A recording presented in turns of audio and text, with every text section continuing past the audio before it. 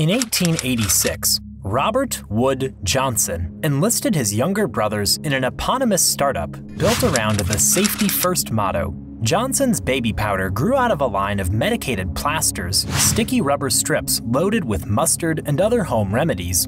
When customers complained of skin irritation, We awarded 22 women who claimed asbestos in Johnson & Johnson baby powder contributed to their ovarian cancer. the brothers sent packets of talc.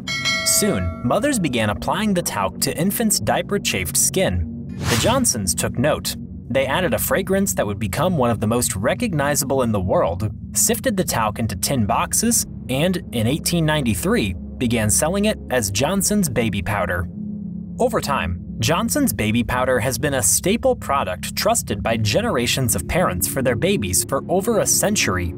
Pure Johnson's baby powder from Johnson & Johnson. It's a feeling you never outgrow. With its signature fresh scent and ability to provide soothing relief, the fine white powder has become deeply ingrained in the baby care routine of millions worldwide. Johnson's baby powder grew in popularity due to its marketing efforts aimed at nursing mothers. Advertisements presented baby powder as the ideal way for mothers to keep their babies comfortable in hot weather. Generations of women came to see it as an essential postpartum care product for preventing chafing and absorbing moisture. Beyond just infants, Johnson's baby powder became a grooming essential for people of all ages. Athletes use it to keep skin dry and prevent chafing on long workouts. It became popular as a foot powder to absorb sweat and reduce odor. The powder's versatility led it to become a bathroom cabinet staple in many households. For over 130 years, Johnson's baby powder has delivered on what it promised, until now. For over a decade, Johnson's baby powder has been fighting to pull its name from the mud. They've had to deal with 40,000 lawsuits involving asbestos contamination. However, before we get well into the gritty details, let's explore what asbestos contamination is. It shouldn't sound so bad, right? Well, asbestos is a set of six naturally occurring silicate minerals that have long been known to cause serious and sometimes deadly illnesses in humans. The main diseases associated with asbestos exposure include asbestosis, lung cancer, and mesothelioma. These diseases can take decades to develop after inhalation of asbestos fibers, yet the fibers are exceptionally thin and able to penetrate deep into lung tissue. Of particular concern is the mineral form of asbestos, known as tremolite asbestos. It is chemically and physically very similar to the mineral talc, which was commonly used in baby powder and other cosmetic products for its softness. Yep, you guessed it, talc deposits are often found intermingled with tremolite asbestos veins naturally occurring in the earth. This was notable in historic talc mining regions like Vermont that supplied materials to Johnson & Johnson. Johnson & Johnson sourced talc for its baby powder products from various mining operations over many decades of production. One of their key talc suppliers was the Windsor Minerals mine located in Vermont. In the early 1950s, J&J routinely received shipments of talc ore from the Windsor Minerals mine in Vermont, which it then processed and milled into powder form for use in baby powder and other consumer products. To ensure product quality, it was common practice for J&J scientists to send samples from each incoming shipment of crude talc to outside analytical labs for testing. Documents recovered from the National Institute for Occupational Safety and Health revealed that in December 1949, one such independent lab analyzed an ore sample from the Windsor mine. Under a microscope, the lab discovered fibrous amphiboles and clay materials interspersed within the talc, along with another non-fibrous type of mineral it could not identify. The lab recommended that J&J consult with mineralogical experts to determine the exact composition. Following up on this finding, J&J scientists submitted portions of the same sample to at least two other labs for identification in early 1950. Both labs, including one at the University of Pennsylvania, concluded the unknown mineral was tremolite, a type of asbestos known to be hazardous if its microscopic fibers were inhaled. Lab reports sent directly to top J&J research managers clearly informed them that their Windsor talc deposit contained the carcinogenic asbestos fibers of tremolite.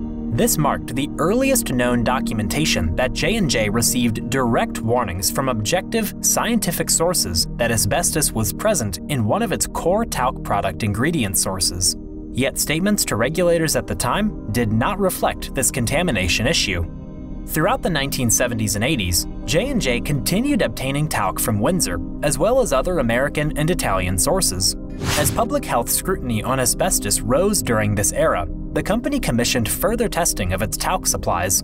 Letters and lab reports that have now emerged in litigation describe how tremolite asbestos was again identified in talc specimens from various J&J mines during this period, including at concentrations up to 1.8% in one sample. However, some J&J executives expressed skepticism about the veracity of tests showing asbestos, according to meeting minutes. They did not always share the adverse lab results with regulators or change sourcing practices and continued marketing talc powders as asbestos-free. It was not until 2000 that J&J began requiring talc suppliers to test for and limit asbestos to avoid further contamination issues coming to light. By then, talc mining operations like those at Windsor had long ceased. At various times from then into the early 2000s, reports by scientists at J&J, outside labs, and J&J's supplier yielded similar findings. The reports identify contaminants in talc and finished powder products as asbestos or describe them in terms typically applied to asbestos, such as fiberform and rods. Most internal J&J asbestos test reports do not find asbestos, However, while J&J's testing methods improved over time, they have always had limitations that allow trace contaminants to go undetected, and only a tiny fraction of the company's talc is tested. The World Health Organization and other authorities recognize no safe level of exposure to asbestos. While most people exposed never develop cancer, for some, even small amounts of asbestos are enough to trigger the disease years later. Just how small hasn't been established. Many plaintiffs allege that the amounts they inhaled when they dusted themselves with tainted talcum powder were enough. The evidence of what J&J knew surfaced after people who suspected that talc caused their cancers hired lawyers experienced in the decades-long deluge of litigation involving workers exposed to asbestos. Some of the lawyers knew from those earlier cases that talc producers tested for asbestos, and they began demanding J&J's testing documentation. Court documents have revealed that Johnson & Johnson knew its talc contained asbestos as early as the 1950s. By 2018, J&J was paying out multi-million dollar verdicts over asbestos exposure from contaminated talcum powder. Johnson & Johnson made an announcement in October 2021 that their talc subsidiary was filing for Chapter 11 bankruptcy protection. This move came after the company had set aside almost $4 billion to cover the numerous lawsuits against its iconic product, Johnson's baby powder, which was claimed to cause cancer, including ovarian cancer and mesothelioma. These lawsuits have led to courts awarding billions of dollars to plaintiffs, Recently, the company proposed a trust fund of $8.9 billion to settle its talc-related lawsuits. In August 2022, Johnson & Johnson announced that it would discontinue global sales of talcum powder in 2023. The company had already stopped sales of its talc-based baby powder in the US and Canada in 2020, but it continued sales in other countries until retailers ran out of stock. A cornstarch-based version of Johnson's baby powder will continue to be available worldwide, Retailers throughout the US pulled J&J's talc-based baby powder from shelves in October 2019 after the US Food and Drug Administration found asbestos in one of the containers.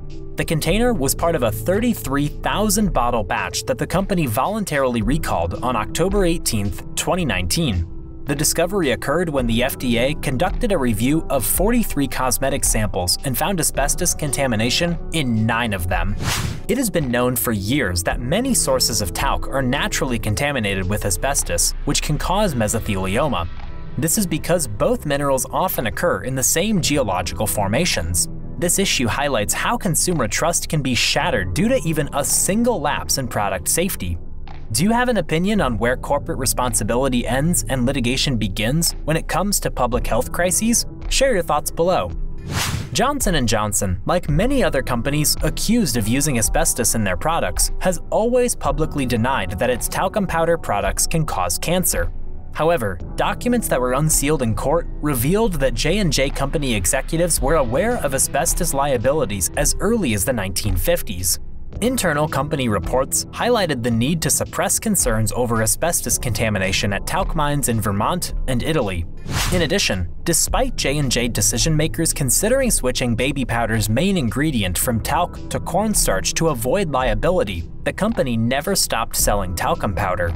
Tests conducted in the latter half of the 20th century revealed asbestos in J&J's talc, which the company covered up, failing to report the contamination. Some of the talc originated in the Windsor Materials talc mine in Vermont, where one official recommended adding citric acid to help hide the presence of chrysotile asbestos fibers. Now juries are holding Johnson & Johnson accountable for asbestos-related cancers its products caused. In April 2023, J&J proposed a new bankruptcy plan to settle its talc lawsuits. Johnson & Johnson wants to establish an $8.9 billion trust fund through its talc subsidiary, LTL Management, to handle current and future talc claims. Two groups of law firms representing talc plaintiffs disagree on the plan. One group approves of the new plan, while the other says LTL Management is not in financial distress and does not qualify for bankruptcy protection. U.S. bankruptcy judge Michael B. Kaplan instructed the opposing sides to create a new reorganization plan with the help of two mediators. Additionally, the U.S. trustee, which is part of the U.S. Department of Justice, filed a motion to dismiss the new bankruptcy plan. The department also filed a similar motion to dismiss the original plan. Johnson & Johnson initially offered to fund the trust with $2 billion, However, the U.S. Court of Appeals for the Third Circuit rejected the original bankruptcy plan in January 2023. An advocacy group representing cancer victims accused J&J of withdrawing an initial funding agreement with the subsidiary of $61.5 billion to signal financial distress and justify the bankruptcy filing. The appeals court ruling found the company did not file for bankruptcy in good faith because it still had access to those assets. J&J has reportedly spent approximately $1 billion on its legal defense for nearly 40,000 talc claims. Settlements and verdicts have cost the company an additional $3.5 billion. Johnson & Johnson had set aside $3.9 billion for talc-related litigation in February 2021, according to a regulatory filing with the Securities and Exchange Commission. Johnson & Johnson's brand, once known for its commitment to health, safety, and trust, has faced a significant blow to its image following reports of asbestos contamination in its baby powder. The contamination raised serious concerns among consumers, leading to widespread scrutiny and legal battles. According to YouGov Brand Index, a market research firm that tracks consumer attitudes, J&J's brand reputation has fluctuated significantly in recent years. The company's development of a COVID 19 vaccine had a positive impact on its brand image. However, the brand has suffered from reports of asbestos contamination, faulty pelvic mesh devices, and the company's role in the opioid epidemic. Johnson & Johnson discontinued talcum powder sales throughout the world in 2023, possibly in an attempt to restore its brand image and avoid future talc liabilities. Consumers had already lost trust in J&J's iconic baby powder by the time the company ended global sales. Some consumers saw J&J's decision to discontinue talcum powder as an admission of guilt, while the company said it was a commercial decision. Asbestos contamination and other controversies have dealt a significant blow to J&J's brand. Restoring the company's image will require transparency and a continued focus on consumer safety. That's it for today's video. What are your thoughts? Let us know in the comments below. And if you enjoyed this video, please give it a thumbs up. Your support helps us reach more people with our content. Thanks for watching, and consider watching our other videos right here